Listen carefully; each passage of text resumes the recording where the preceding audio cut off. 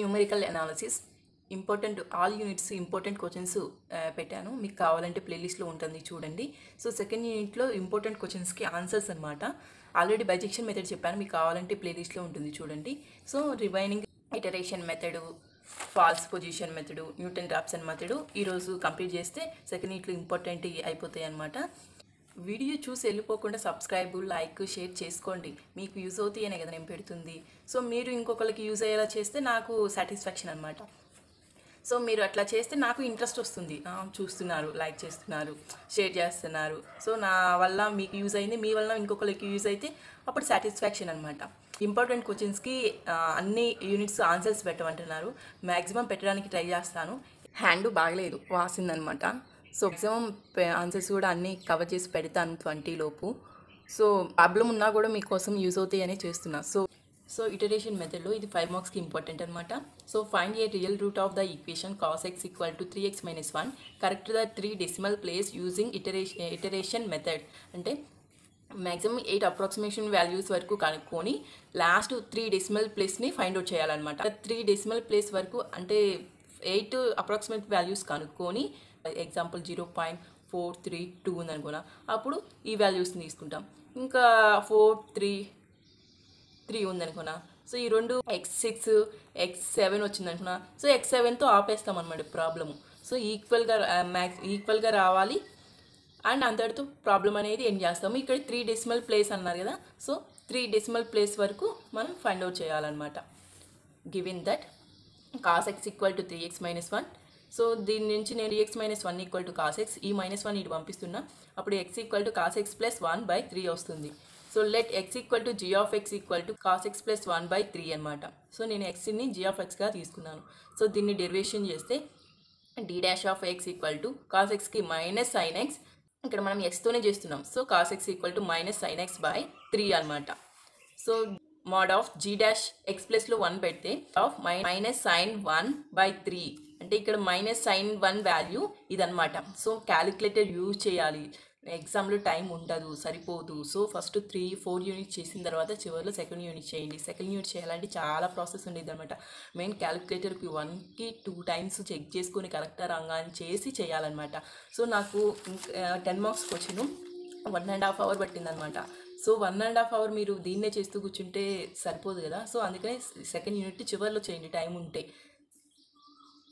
So ఇది minus sine one value అనమాట by three దీన్ని క్యాలిక్యులేట్ చేస్తే ఈ వాల్యూ వస్తుంది. వన్ కంటే చిన్నదే కదా సో లెస్ దాన్ వన్ ఎందుకంటే ఇక్కడ వన్ తీసుకున్నాం కాబట్టి ఇక్కడ లేకపోతే జీరో తీసుకునేటోళ్ళం. ఇక్కడ వన్ తీసుకున్నాం కాబట్టి ఇక్కడ వన్ అనమాట so DOF g dash one less than one అనమాట it is convergent so this method is applicable let x equal to x n plus one equal to cos x n plus one by three అనమాట ఇది formula so let the initial approximation x not equal to pi by two అంటే cos వాల్యూస్లో మనం one zero pi by two ఆ వాల్యూస్ని substitute చేస్తేనే కదా మనకి కాస్ వాల్యూస్ వచ్చాయి సో నేను x not equal to pi by two తీసుకుంటున్నా. So first approximation x one equal to cos x not plus one by three అనమాట ఇక్కడ ఎక్స్ నాట్ అంటే పై బై టూనే కదా? సో పై బై టూ వేసా ఇక్కడ cos pi by two అంటే zero అనమాట plus one equal to one by three equal to calculate చేస్తే zero point three three వస్తుంది అనమాట second approximation x x two equal to ఇక్కడ x not పెట్టాము. So ఇక్కడికి వచ్చేసి ఎక్స్ వన్ పెడతాము. అంటే బైజెక్షన్ మెథడ్లో మనం వచ్చిన వాల్యూస్ని మళ్ళీ తీసుకొని చేస్తాం కదా.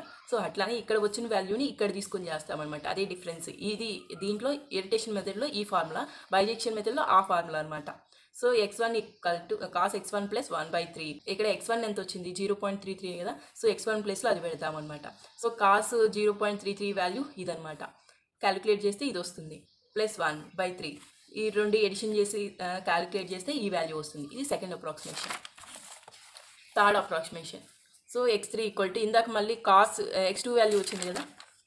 అప్పుడు ఇక్కడ cos x two plus one by three వేస్తాము. So cos x two value ఎంత? జీరో పాయింట్ సిక్స్ ఫోర్ దీన్ని ఫైండ్ అవుట్ చేస్తే ఈ వాల్యూ వస్తుంది. దీన్ని క్యాలిక్యులేట్ చేస్తే ఈ వాల్యూ వస్తుంది. So fourth approximation value x four equal to cos x three plus one by three ఇక్కడ ఎక్స్ త్రీ ఎంత వచ్చింది? ఇది ఇది వచ్చింది. దీన్ని సబ్స్టిట్యూట్ చేసి క్యాలిక్యులేషన్ చేస్తే ఈ వాల్యూ వస్తుంది. సో మళ్ళీ దీన్ని ఎక్స్ ఫోర్గా తీసుకొని x four x five equal to cos x four plus one by three చేస్తాము. సో దీ ఇక ఇక్కడ ఎక్స్ ఫోర్ ఎంత వచ్చింది? ఈ వాల్యూ కదా. సో అది ఇక్కడ వేసి మళ్ళీ cos zero point six zero eight six వాల్యూస్ని ఫైండ్ అవుట్ చేసి ఎడిషన్ చేసి డివైడ్ చేస్తే ఈ వాల్యూ వస్తుంది. దీన్ని మళ్ళీ uh, సిక్స్త్ అప్రాక్సిమేషన్లో ఎక్స్ సిక్స్ తీసుకొని cos x five plus one by three so ఇక్కడ కా ఎక్స్ ఫైవ్ ఎంత వచ్చింది? దాన్ని సబ్స్టిట్యూట్ ఇక్కడ సబ్స్టిట్యూట్ చేస్తాము. సో ఇక్కడ సబ్స్టిట్యూట్ చేసి cos zero point six zero వాల్యూని ఫైండ్ అవుట్ చేస్తే ఇది వస్తుంది. సో ప్లస్ వన్ ఎడిషన్ చేసి బై త్రీ చేస్తే ఈ వాల్యూ వస్తుంది అనమాట మీకు మోడల్ చెప్తున్నాను. మీరు క్యాల్ దీంట్లో ప్రాక్టీస్ చేసేది ఏమి లేదు. ఆ టైంలో క్యాలిక్యులేటర్తో పనేనమాట సో మోడల్ చూసుకోండి. అక్కడికి వెళ్ళిన తర్వాత టైం ఉంటే మ్యాక్సిమం చెయ్యండి. Seventh approximation x seven equal to x six plus one by three దీంట్లో ఎక్స్ సిక్స్ సబ్స్టిట్యూట్ చేసి ఫైండ్ అవుట్ చేస్తే ఇట్లా వస్తుందన్నమాట.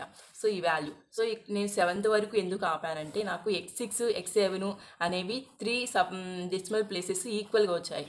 చూడండి. ఇది x six value zero point six zero seven.